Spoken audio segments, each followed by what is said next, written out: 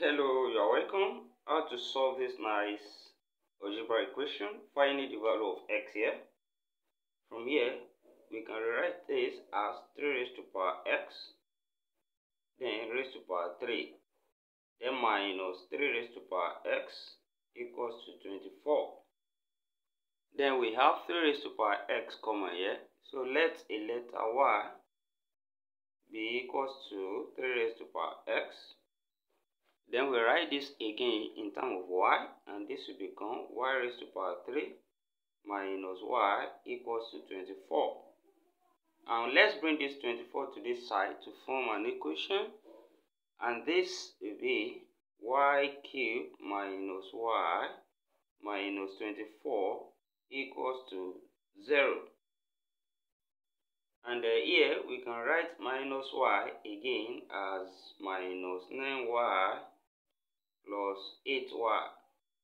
This will give us back minus y. Then we have y cubed, then minus 24, which is equals to 0. So from here, we factor what is common in these two out. So what is common here is y.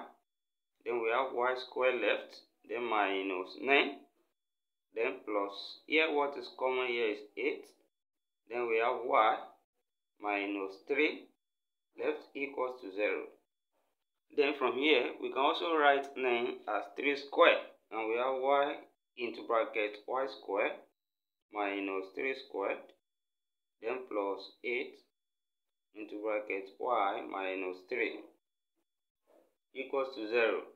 And from here, this is difference of two squares and this can be factorized and this will be y into bracket y plus 3 then multiplied by y minus 3 then plus 8 into bracket y minus 3 equals to 0 and from here y minus 3 is common. We factor it out. We have y minus 3 then into bracket what is left here? y into bracket y plus 3 then what is left here is plus 8, which is equals to 0. And from here, we can open this bracket here and write as y minus 3, then into bracket y square plus 3y plus 8 equals to 0. So from here we have two possible cases. We have y minus 3 equals to 0 or we have y squared plus 3y plus 8 equals to 0. And from what we are given, we represented y as 3 raised to power x. We represented y as 3 raised to power x. Then from here, we take this minus 3 here. We have y equals to 3 from there. Then it means that y, that's 3 raised to power x, is now equals to 3. And which we can also write as 3 raised to power 1. And from here, we have same base here. That means x here is equals to 1. So we can say x is equals to 1 from here. Then also, on this side, let's check if we are going to have a real solution. We have a as 1 as this coefficient of y square, b as 3, and c as 8. So using discriminant, b square minus 4ac, b square that's 3 square minus 4, a is 1, and c is 8. So this will give us 9 minus 32. And uh, 9 minus 32 will be equals to minus 23, which is less than 0. So from here, no resolution here.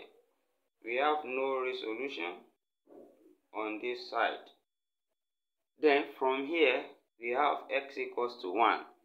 Then we can confirm and uh, check if x equals to 1 satisfy the given problem.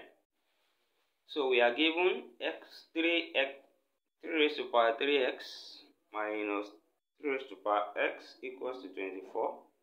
and we got x to be equals to 1. So when we substitute x equals to 1 from here, that will be 3 raised to power 3 times 1 and that's still 3 that's 3 raised to power 3 then minus 3 raised to power 1 is still 3 then is it equals to 24 then from here 3 raised to power 3 that's 3 times 3 times 3 which is 27 minus 3 is this equals to 24 and of course 27 minus 3 is 24 therefore we have 24 on this side and equals to 24 on this side. This confirms that x equals to 1 is a solution to this problem. Thank you for watching. Please share this video, subscribe to my channel, give a thumbs up. Also turn the notification bell on. See you next class and bye for now.